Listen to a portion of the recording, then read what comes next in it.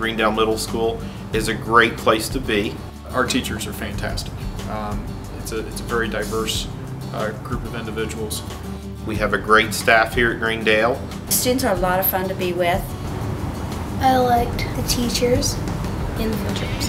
It's a tradition here at Greendale Middle School for the eighth graders to end their three years here with a trip to Washington. I took, for three years, a group to space camp down in Huntsville, Alabama. Science is one of my favorite subjects because this year we did a bunch of experiments. What we did for the egg drop project is we had to put an egg in a certain length of box. On the day that they were due, a fire truck came and we put all of our projects in a box and they dropped them from the top of the fire truck. I like science because our world wouldn't be what it is today without science. We also have a lot of fun.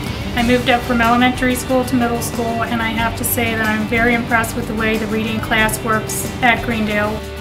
We've got a lot of sporting activities. We have dances.